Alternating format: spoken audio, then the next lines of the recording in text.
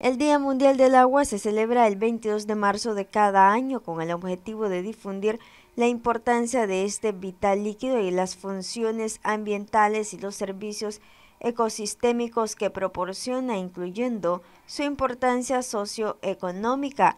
En los últimos años el consumo de este ha tenido demanda por incremento de la población. Bueno, en Nicaragua hay muchos esfuerzos que se están eh, realizando. En este caso, digamos, el gobierno se está poniendo a la cabeza, pues hay, hay una ley de agua y esto pues eh, amerita que, eh, digamos, la creación de comités de agua potable para que ellos puedan este, administrar muy bien el recurso.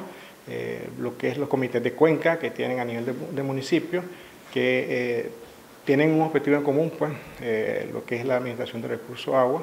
Eh, tengo entendido que también el Marena ha iniciado un, esfuerzo en, relación a, ver de qué manera eh, la optimización del riego para producir más lo que, es la, lo que son sus parcelas. Pues.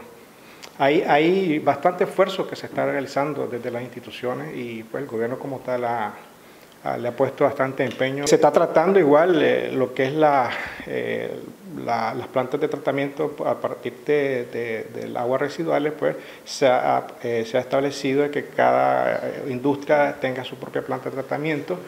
Eh, se ha reducido, se, se, está tratando de reducir con la tecnología, con la poca tecnología que tenemos como país, eh, administrar esa parte de tratamiento porque lo que es el vertimiento, los recursos del, agua residual, el vertido hacia, hacia el medio natural, pues eso te genera contaminación. Lógicamente que se, se, requiere más, este, más tecnología y más esfuerzo, pues no basta con lo que se está haciendo el día de hoy, sino que eh, hay, hay, que mejorar pues algunas técnicas. Asimismo dijo que el agua se está contaminando a nivel mundial. Lo que pasa es que la, actividades que hay ahorita en relación al uso del agua eh, eh, son inadecuadas en algunos momentos. Pues, por ejemplo, hay mucho, el agua se está contaminando a nivel mundial. la parte del uso y manejo pues, del recurso para la parte agrícola eh, para la parte del consumo humano, para, eh, digamos, para las industrias, que esto te genera pues complicaciones si no se, si no se repara pues eh, en este sentido la, el uso de, de, de, vital líquido. Noticias 12 Darlene Telles.